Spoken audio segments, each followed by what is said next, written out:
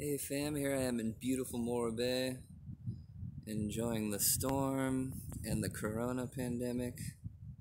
And I was beatboxing, and I just wanted to share how I beatbox.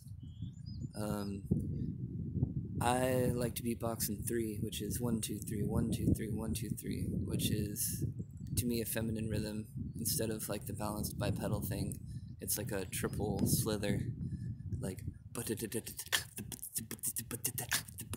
and you see that rhythm a lot in trap and dubstep.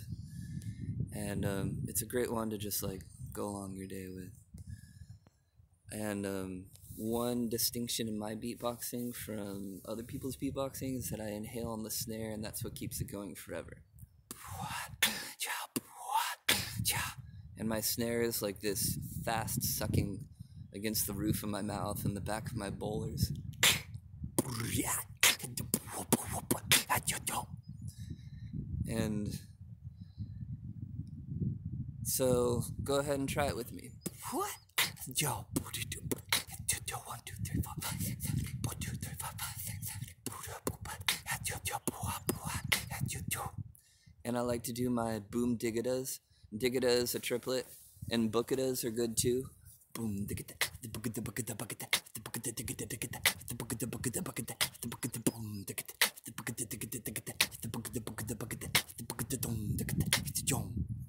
So those are the boom, dickitas, and bookitas.